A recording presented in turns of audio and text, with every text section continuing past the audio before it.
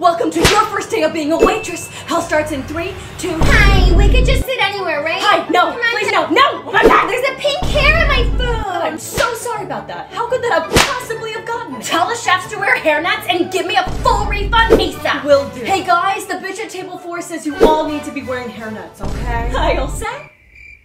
You're clearly busy. I'll come back. Waitress, hey, check out. Oh, how convenient. Finally ready now? Yeah, it's Joshua's birthday today, so give us a free dessert with a candle and sing. We don't really do that here. Ah! Happy, happy birthday from all of us to you. We wish it was our birthday so we could party too. Yeah, and here's your $581 check. Just so you know, we will not be tipping today because we did not like the service. Or the 472 free samples of soup, the birthday performance, and the one hour back massage. Not enough servers for you today? We don't have to tip if we don't want. I love that. Yeah, just tell the valet to go get our Mercedes. ASAP. Oh, no problem. I could actually just send you there myself. bitch, what the?